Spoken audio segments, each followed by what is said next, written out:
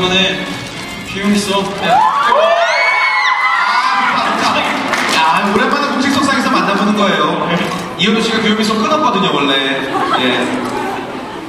1 더하기 1은 귀요미, 2 더하기 2도 귀요미, 3 더하기 3도 귀요미. 아, 귀,